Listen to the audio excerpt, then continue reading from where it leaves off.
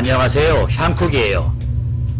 오늘은 단체급식 레시피 야매 난자완스를 만들어 볼게요.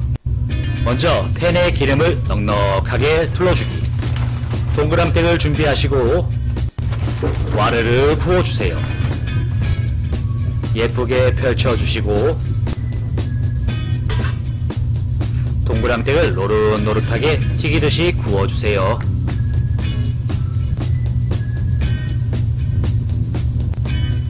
노릇노릇하게 구운 동그랑땡은 따로 담아줍시다. 빠르게 한 번 더 동그랑땡 한 봉지를 더 튀기듯이 구워볼게요.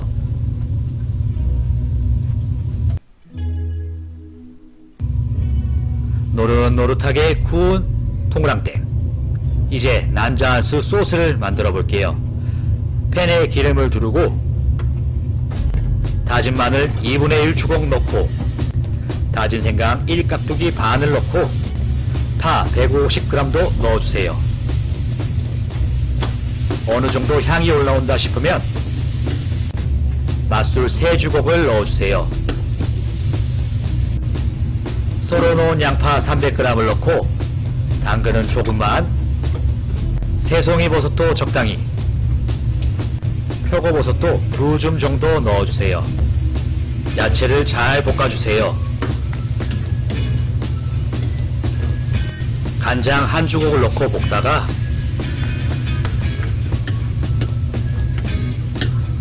물 냉면 그릇으로 두 그릇을 부어주세요.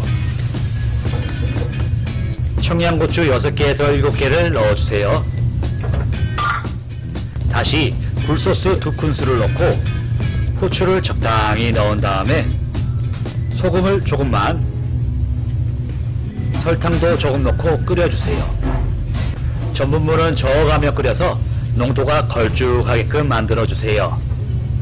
처음부터 너무 걸쭉하게 만들면 나중에 뻑뻑해지니까 주의해 주시고요. 이제 구워놓은 동그랑땡을 넣은 다음에 청경채 300g을 넣어주세요. 마지막으로 참기름 두 주걱을 넣으면 완성. 단체급식 동그랑땡으로 야매 난자완스 만들기 완성! 다 만든 난자완스를 바트에 와르르 담아줄게요. 소스가 담백하고 고기를 튀기듯 구워서 고소한 난자완스 꼭 만들어 보세요. 이상 향국의 단체 급식 레시피였습니다.